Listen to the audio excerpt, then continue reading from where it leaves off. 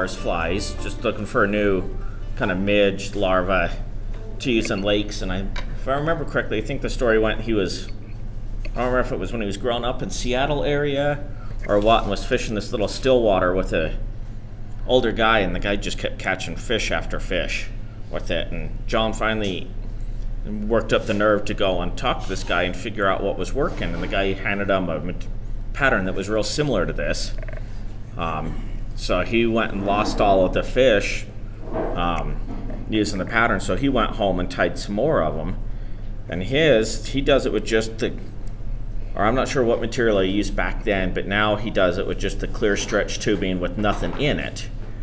Um, and you can use any color thread you want because uh, that's what's going to show up through the base. And so I like to do it with the red um, and either a root beer colored or a gold colored crystal flash through the tube. Um, that's what works best up on the Logan.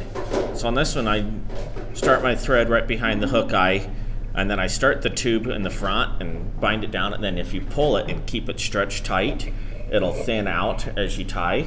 So I'll just tie it down right at the back of the hook and then let go of the tube and it just stretches back to its normal self. So what I'm gonna do is throw a couple half hitches on the front there. And then I'm gonna use the rotary on my vise and take that tubing and kind of hold it straight up and keep it a little tight so it thins out. And then just wrap it right up the body. Just one turn right next to the, right in front of the last. You don't have to overlap them or anything like that. You can do this hand over hand, and you just got to make sure you keep it pulled tight when you do it. So we'll come up about a eye length back and tie it off. And always take that tube and pull it tight when you cut it off, and that way you don't have a little nub right on the front of it. I'll build up a little bit of a thread head. Um, you can do this with a different color thread for the head if you want like a brown head or a black head or whatever, but I usually just use the same thread right across it. And then just whip finish it. And that's the whole pattern. The original pattern in his book calls to coat it with like head cement or Sally Hansen's. Um, I've been using a little bit of UV fly finish too, if I don't have any Sally Hansen's, but it's just to coat the threads and help protect it. That's the whole fly.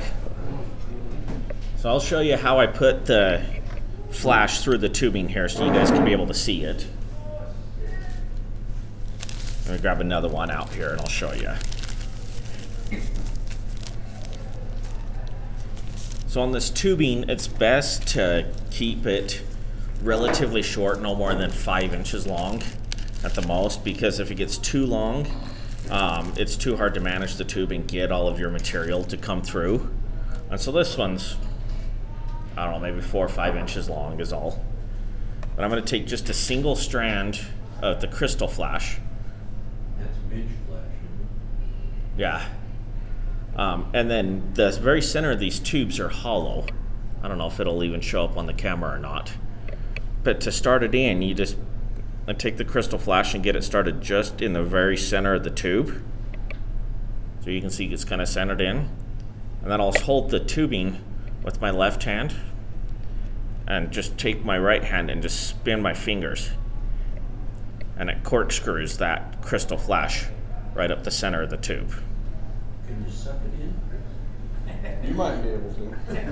I've never tried it, doing it that way. I just take it and throw it through.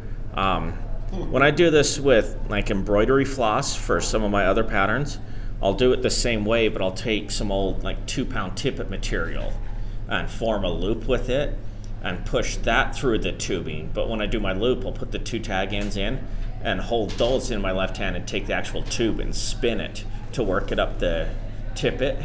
And then I'll leave just a little bit of a loop on the end and take one or two strands of floss, put it through that loop and grab that tip and just pull it right through the tubing.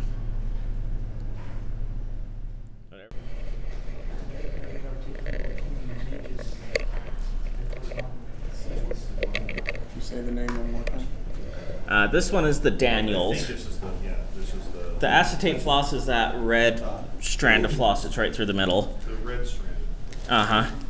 And then in the bottom of the packet, there should be a little partial piece of glow in the dark Flashabou, which we'll use that for the ribbing. And there's a single black wire in your packet also that we'll use for ribbing. Those are all taped together, right?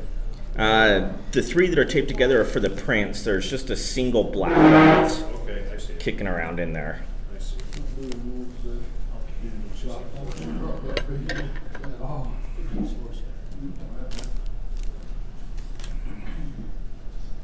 Okay. All right, so this one, um, we're going to use the size 10 curved scud and with the white bead and red thread. I use 70 denier UTC. That's bead there. Um, then I start my thread right behind the bead and take the crystal flash and tie that on right on top, right behind the bead.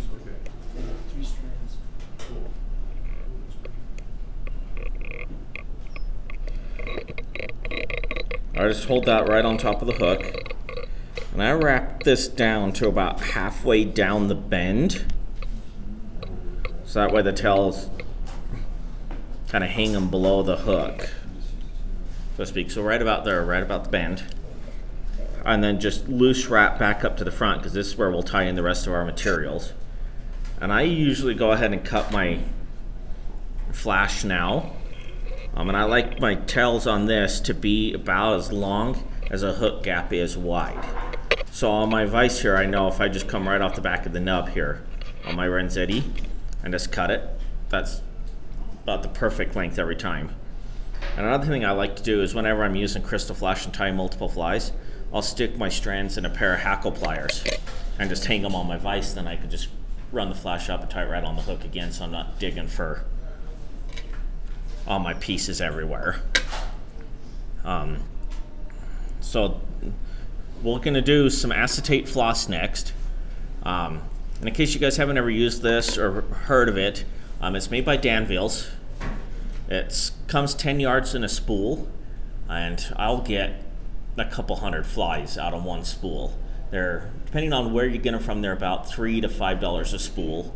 Um, but you take this and dip it in acetone, and it'll melt and harden on the body. It's the only floss that you can take and dip in acetone, and it'll actually melt it. You take any other of your like rayon floss or any of the other multi-strands, all it does is suck up the acetone and then discolors it. It doesn't do anything. Um, so when I tie a lot of them, I like to take mine and put it on a bobbin so that way I can maintain my thread control a little better. I just kind of moisten it a little bit. And I'll tie that down right on top as well. And then I'll take a single strand of black wire.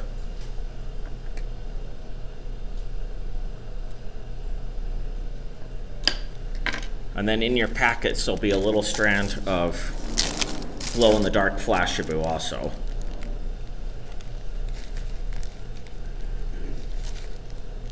And then the Flashabou, when you buy it, it's got um, these two little pieces of, I don't know if it's mono or what it is, that's wrapped around the, the flash.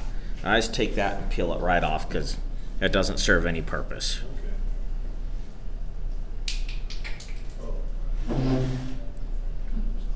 So I tied the floss in right on top of the fly, and my two rib materials, I'm going to tie them in side by side, and I just tuck them into the bead and tie them along the near side of the hook.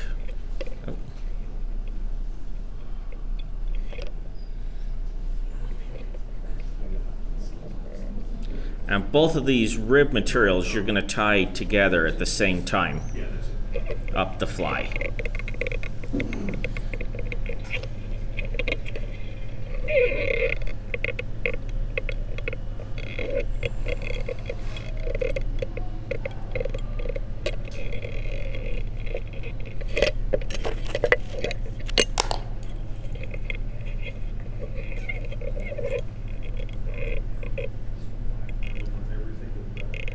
Everything back and stop at about the same spot that I stopped that flash. And then bring it all right back to the front again.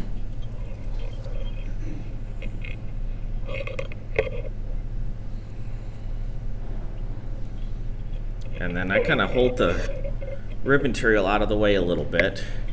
I'll take one full turn with my floss behind the rib material and then I kind of go right back up into the front of it and just start wrapping it forward.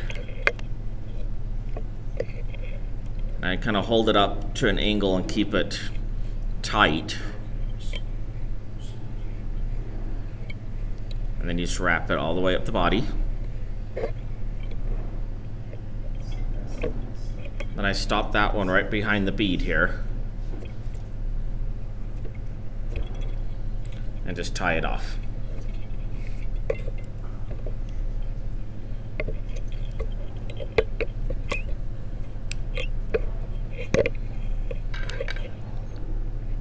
I'll take that and just cut the floss.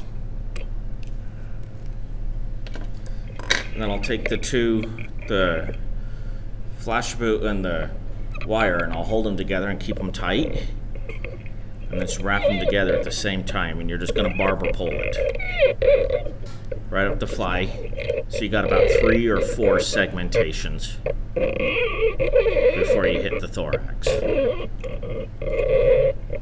And it really doesn't matter on this one if the wire's in front or the the Flashabou behind it or vice versa. It's just kind of a two-tone effect for the ribbing. Um, I do the same fly in a chartreuse green that works really good, but if I put the Flashabou, for whatever reason, I don't get as many fish on that as I do if I do just um, black wire.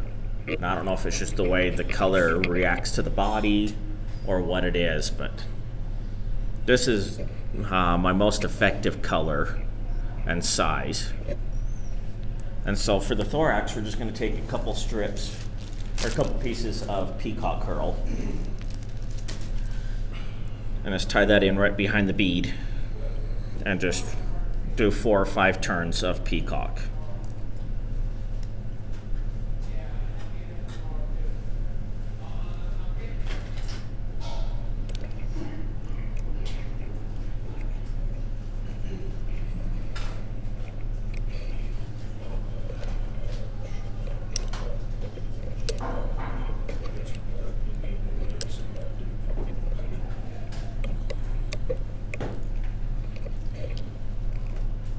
You got it right here. Oh, okay. Oh, okay. I got a whole bunch of this. And then I'll just take it and just whip finish it.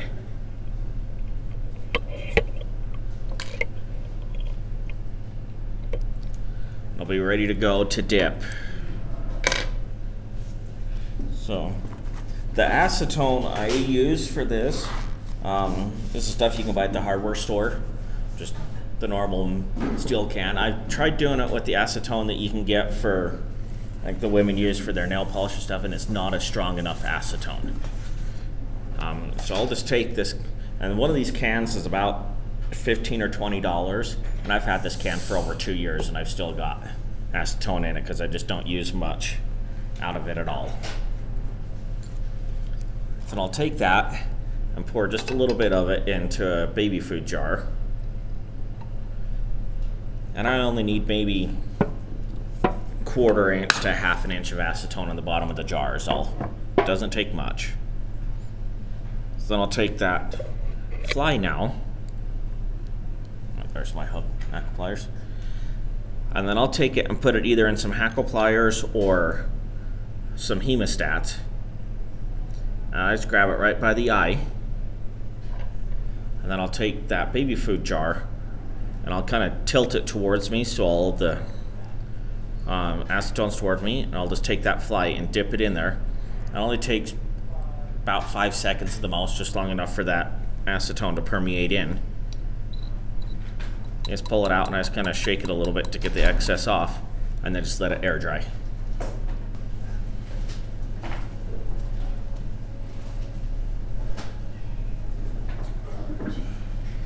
Now this one I'm going to do it with some 015 lead free and I'll do about 12 or 13 wraps of lead on it.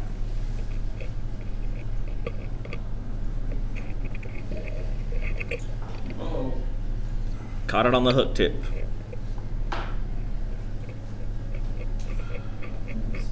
ever done that flat fire? The flat lead?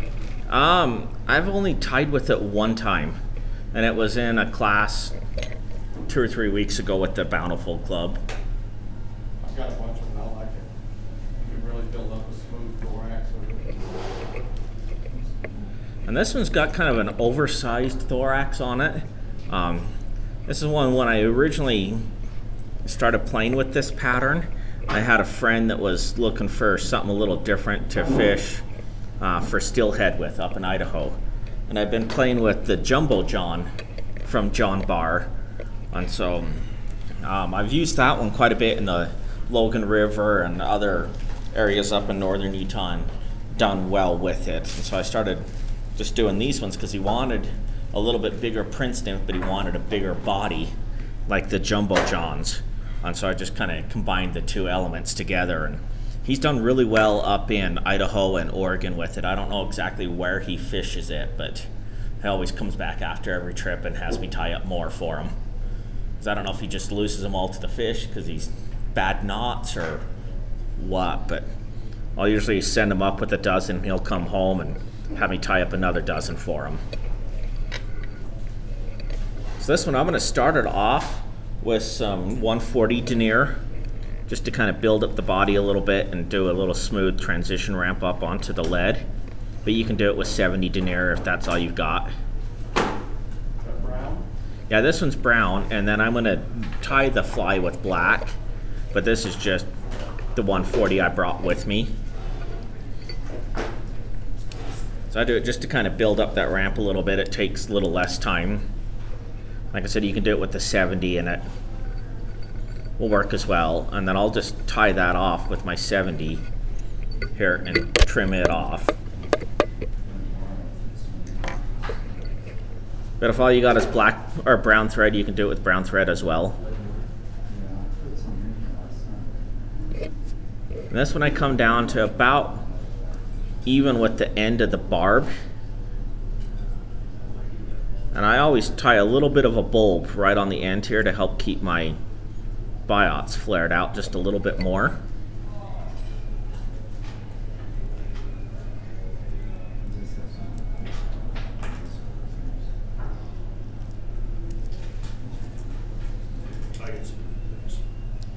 And then this one on the tail, I tie it about as long as uh, between a half to a full hook gap width is the length of my tail. So I'll take those two and oppose them, and I just hold them right in front of that thread bulb I just put on. And then when I get them right in position to kind of cinch that thread down, it helps flare them out just a little bit more. Then I'll take those biots and I'll just tie them down right across the top of the hook. Um, if I have ones that are a little bit longer, or if I'm using like the 020 lead, I'll tie them right down to the lead and then clip them off so it'll just helps smooth that transition up onto the lead a little bit better.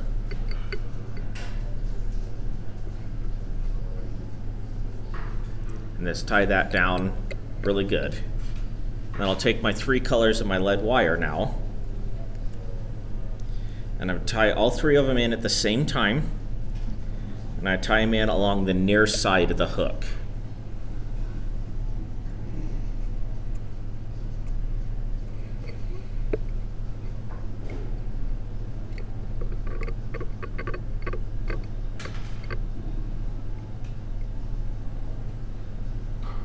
I'll wrap that down all the way to where the biots are, or where I tied those off, and then I'll bring my thread forward again.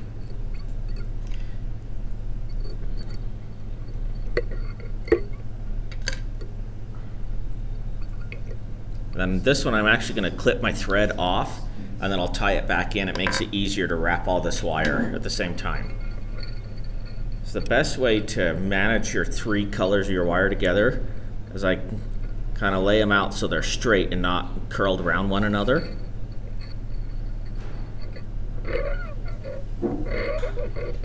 And then I'll pull them towards me and keep them tight. So I'm going to wrap all three wires together at the same time. And you're just going to cover the whole shank of the hook with them. And if they start to twist, then you just flatten back out with my fingers.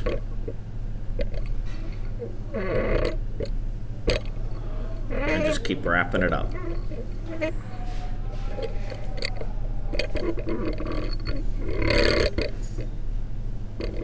So this one, at first, it's a little tricky to keep them so they're all laying flat and not wrapping right on top of each other.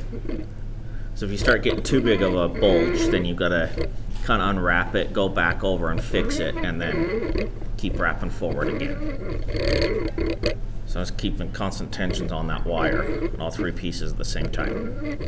Brown biot? Yep. Okay. I got some. Oh yeah, brown wire, and then you'll do white for the wings. So I'll wrap those up to just past where the lead ends, kind of at the start of my thorax. I'll tie my thread back on. And then tie off the wire.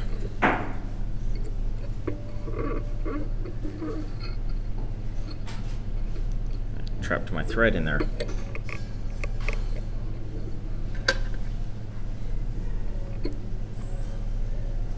And then one thing that I found that works really good to cut all of these off at the same time is I just take an old pair of fingernail clippers and use those to clip them off. Because then I can get right down close to where I tied it off and be able to cut it as flush as possible.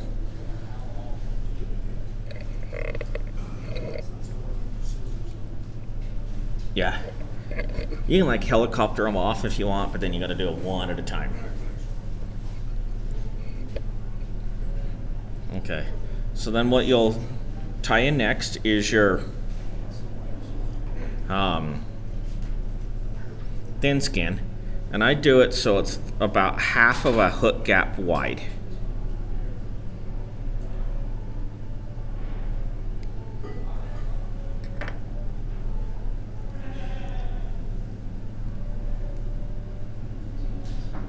Oh. Fib, you actually got to tie your flash in first. So that'll be the last thing to go over. So the flash, I just tuck it right up into my bead.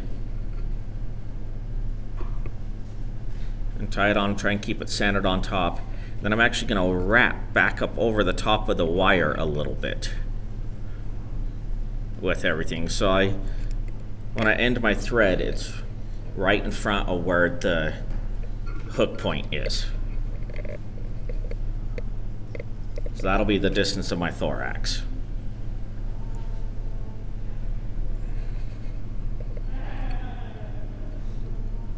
I'll take that thin skin next, tie that in right on the top of all that.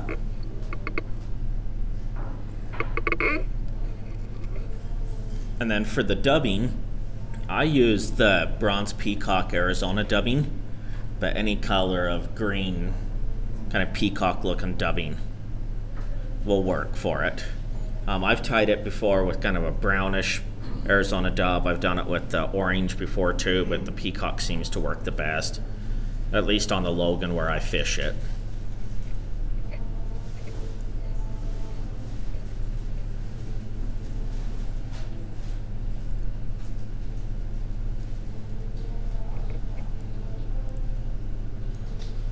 I'll take it and just dub that thorax up. I do a fairly healthy sized thorax on it.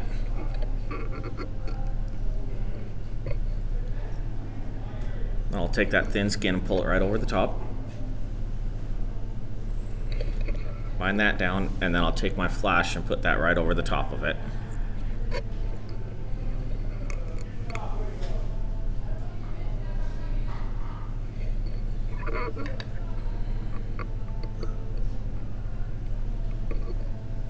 I'll tie that off, and then I'll do the next step is to your two white biots for the wings.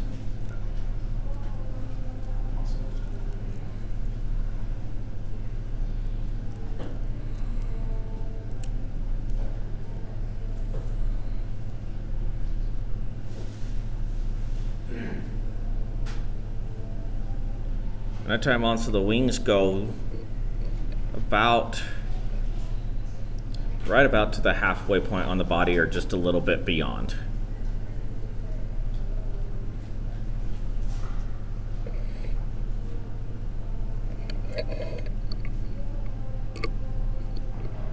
And then if I were going, like when you go and coat uh, the, I'll usually put a little bit of UV resin or something right across the back of that flashback just to build it up and help with the flash. I'll put that on first before I tie the wings on.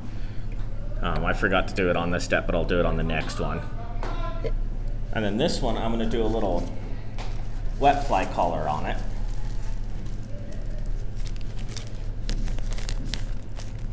So I'll take just a little piece of henback. And um, this one I'm using just a bronze henback feather for my wet fly on it.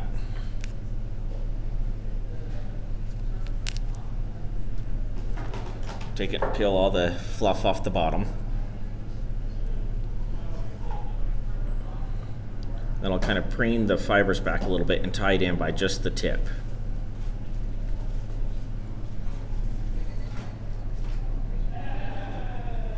What kind of hen was that, just brown? Yeah, it's just a mottled brown.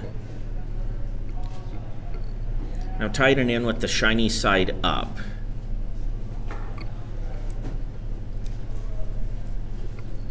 Then I'll take it and, oop.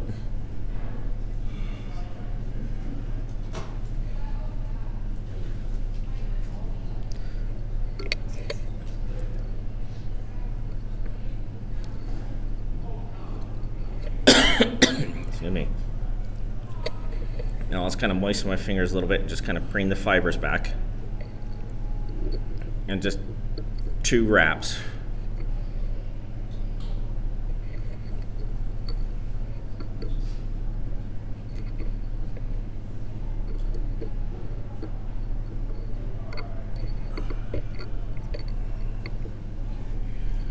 And the wet fly hackle color on it is completely optional.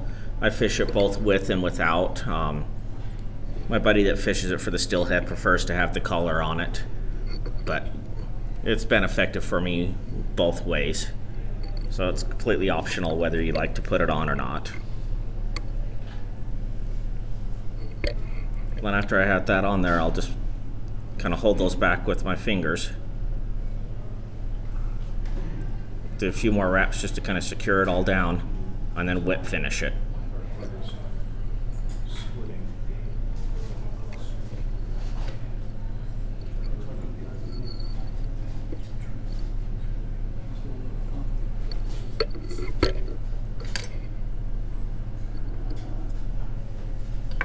And that's the jumbo wet fly Prince. All right. Dave always did want to direct. Okay, so this next one we're gonna do is the meat whistle. My trailer, I can't take this. Okay. So you guys will want, you'll need your 90 degree jig hook that's in the packet that I gave you guys. Um, and also out of the packet you'll need your squirrel, the rubber legs, and the uh, bronze braid material. Um, on this one we're gonna do a size medium cone head on it, either a brass or a tungsten, whatever you happen to have. Um, I've got some extras with me if anybody needs one. I got some if anybody needs them. Okay. I do too. My larges are the same size as your mediums. Okay. Well, there you go. All right. So. I- We always knew you exaggerated size. Yeah. Right. So what I'm going to do on this one is, this is another John Barr pattern. So you'll put your cone on first and kick it towards the back. And then I start the thread right behind the eye as it starts to come up. I'm going to build a little bump right here. And what this is doing is it's just helping hold the cone in place. What thread are you using? I'm sorry. Uh, this one I'm doing a 140 just for the bump and then I'll tie it with a 70. So But you can, Black or brown? uh, this is brown, but you can do this with a 70 in there too, either with a brown thread, olive, orange, whatever color meat whistle you're doing. So I'm just building up a little bit of a bump here, and then occasionally I'll push that cone forward and see if it starts catching yet. And as soon as I feel it start to kind of catch on, then I'll stop building up bulk in the back and then I'll come right into the front of it. So it's almost there. So this is why it's really good to have the 140 because it doesn't take nearly as long to build that bump up.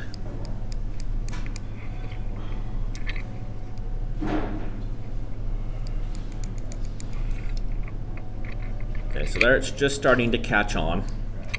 Then I'll do a couple more wraps to hold it on there. Then I'll kind of push it forward and hold my thumb and forefinger behind it, just so the bead can't slide back again. I'm gonna build up a little bullet head right in the front of it. And this is just to prevent the cone from sliding forward all the way onto the eye of the jig. I'll take my thread, whip finish that off.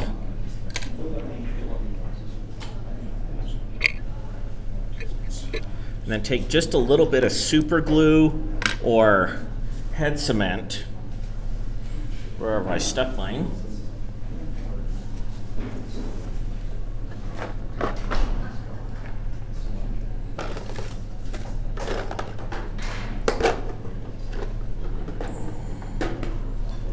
Then I'll put just a little bit of glue or head cement right on that front bump.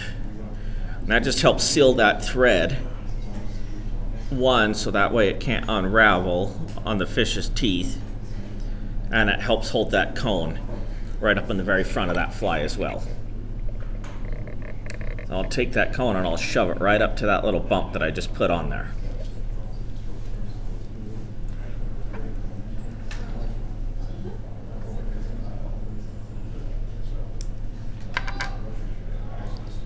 And then I'll take my 70 denier thread now. I'll start that right behind the cone.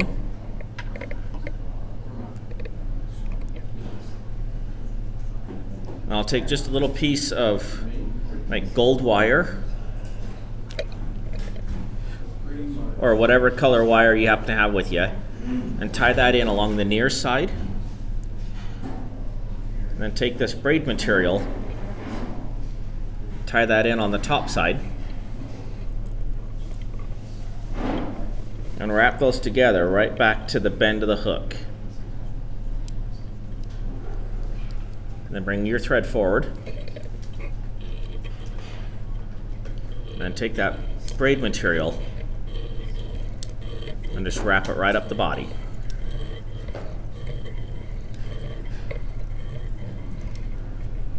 And I do it right up to the back of the cone and then tie it off.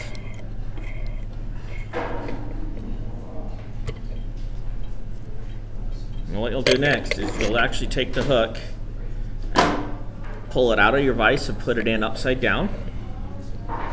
And then I'll take your squirrel and I measure it so the tail is a body length long or a little bit shorter. Then you're going to take it and you're actually going to pierce the hook right through the hide so it sits flat on top of there. Then you'll take your hook back out and push that squirrel down so it's tight against the body.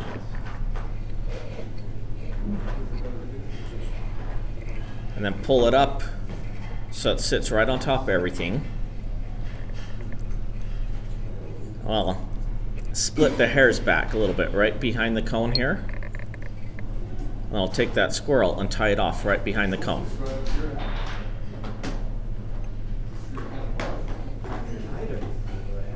And tie that off and then trim the squirrel. Then I'll take the end of that squirrel and I'll actually push it right up into the cone to help fill that in a little bit. I missed it. Did you palmer that or you just?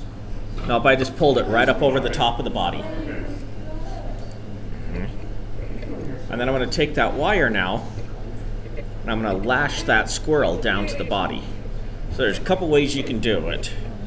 But what I prefer is that very first one, I'll just kind of part the hair a little bit. And you can either take the hair and part it and push the wire through, or what I do is I come right along the body, right on the hide, and just push the wire right through the body.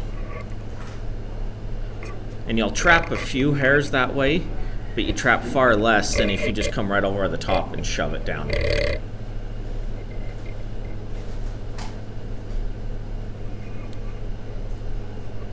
Let's do that in about three or four places.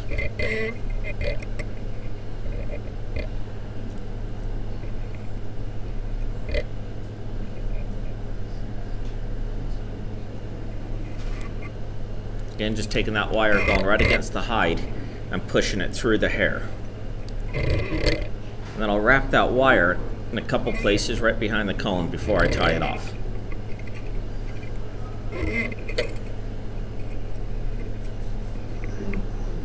And this one's a size 2 hook.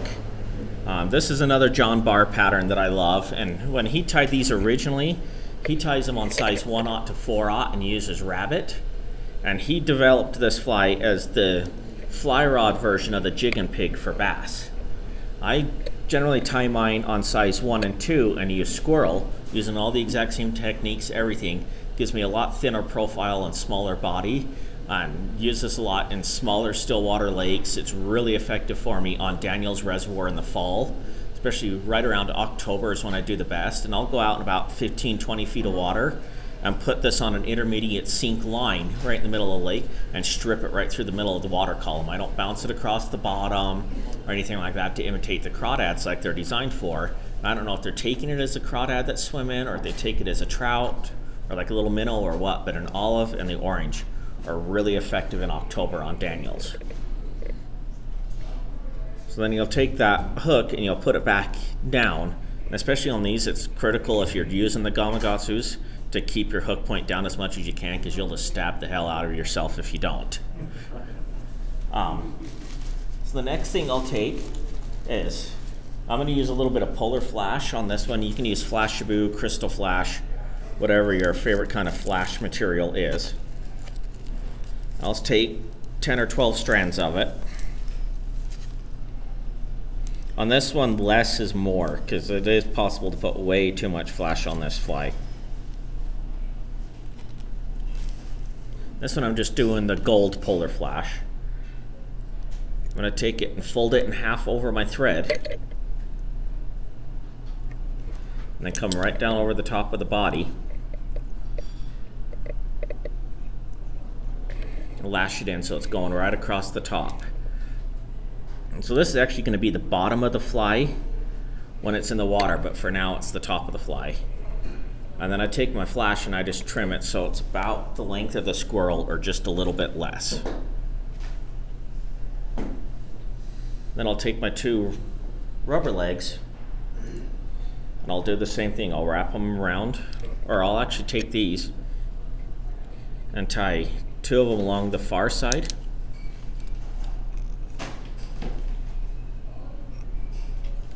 And then I'll bring them up underneath the fly to the near side and tie them in the same place. So they're just side by side each other. On those ones, I'll do the same thing about the length of what the squirrel zonker is. So the next material then is we're going to do a marabou collar on it. And so I'll do like a orange or a burnt orange marabou.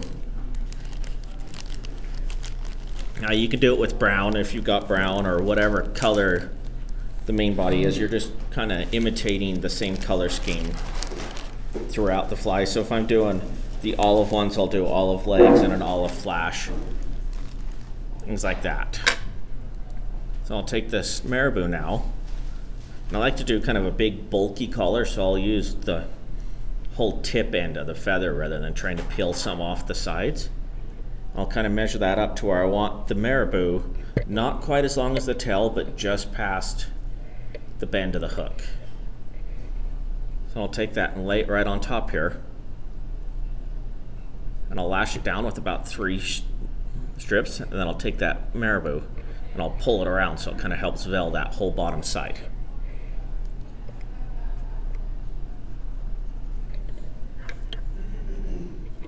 Take and cut it off. And then you can either take your hook out and invert it again, or if you got a rotary, just flip your vise over. So you got your hook point up now, so this is where it's really good to be cautious. And then I'll take one more feather and you'll do the same thing. Uh, and this one, you can have it just a little bit longer, um, but you don't want it super, super long. Again, you always hold it in with three wraps. I'm gonna take that marabou and just kind of wrap it around. So it kind of veils around everything.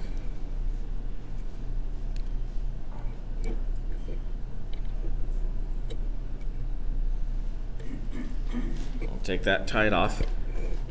And then you'll take the other part of your squirrel that you didn't use yet, and you'll come right on the end that you're going to be towards the head of it, and peel some of the fiber, the hair, right off it, and just dub it right onto your thread.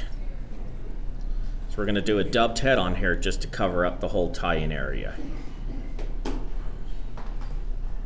So this is one that you can use if you want to do kind of a hot spot on it. You can do a little bit different color dubbing, or if you don't want to keep using all the squirrel hair off this, you can, if you got a package of squirrel dubbing, you can do that. You can do rabbit dubbing, anything like that.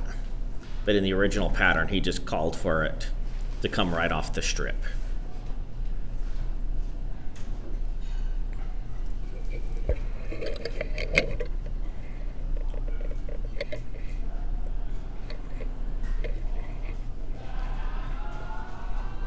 And it doesn't have to be super bulky or anything like that in here. You're just doing a little bit of a dubbing collar just to cover up that tie-in area.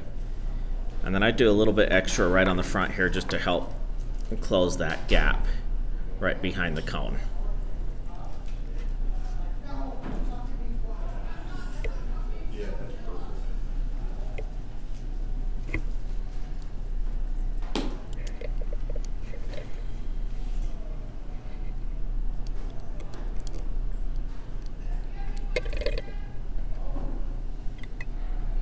Just a couple of whip finishes on it and it's completed.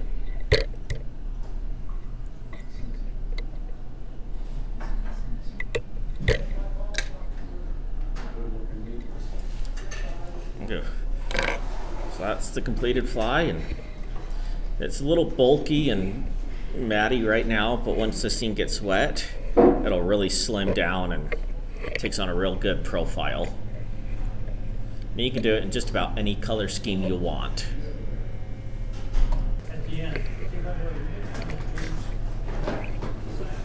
All right, so I got that pink bead on there. Nice, lovely pink thread.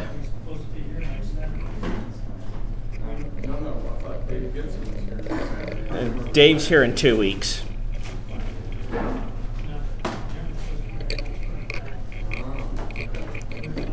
So take my thread, go all the way down to the just at the bend of the hook. And just a good kind of a light olive green marabou. And this one, I'm just gonna take the side feathers for the tail. Yeah.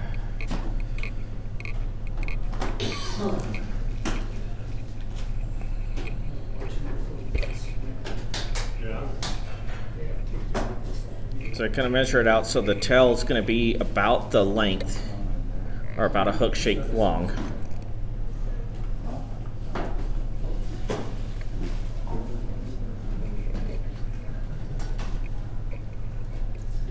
I just do loose wraps at first just to kind of hold everything in, and then I'll wrap it down tighter here in a second.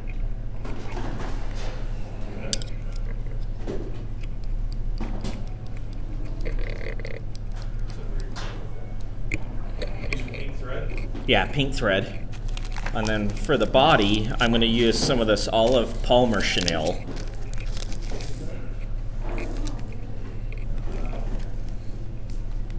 And this one I'm doing it with a size medium. And I've done these with the Polar chenille, and the Palmer chenille is a lot better for this particular pattern. And so this is on a size 10. I tie these all the way up to a size 6 in both olive and root beer brown.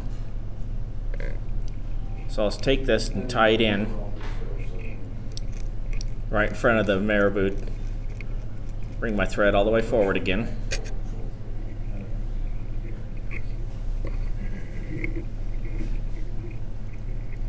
And just wrap it forward.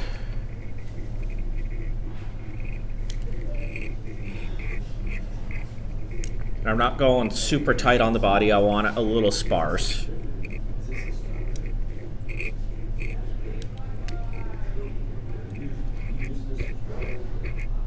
Um, I haven't ever used this as strawberry just because I've never stillwater fished strawberry, unfortunately. Which is really sad, I know. But this one works really good. Um, Wellsville is where I use it the most. Um, I've done well with it on um, Mantua for the trout, and then I'll tie this down even as small as a size 12 for the bluegill, and they just hammer it. Especially in the spring when they're just getting ready to spawn and they're up in their weed beds and starting to get real aggressive.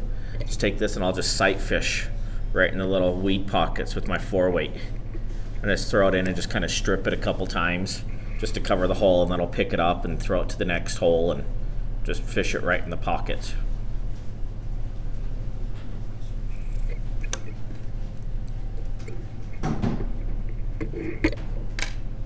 I don't add any extra weight to it or anything like that. Just that pink bead kind of has the hot spot, yep, and just kind of helps pull the or push the water back a little bit, and I'll just grab like piece of Velcro or an old toothbrush, just kind of brush this out to get out any trapped fibers. I just fish that on like my four weight or my six weight. Um, sometimes I'll fish it with another fly, and other times I'll fish it just as is and just real slow hand retrieve right across the weed beds. It's my favorite go-to um, damsel nymph, and it's never let me down. I'll have 40 fish days with it some days, and other days it'll be two fish. Just depends on if the trout are keying in on damsels a lot or not. But even on 40 fish days, that's me being out on the water for 8 to 10 hours. So it's a full day to catch that many, but It's pretty good though. It's five fish an hour, that's, that's, that's, that's a good day. No, but that's just real simple, easy go-to fly. And I don't remember who showed me this when I got it from a guy that was up in Wellsville.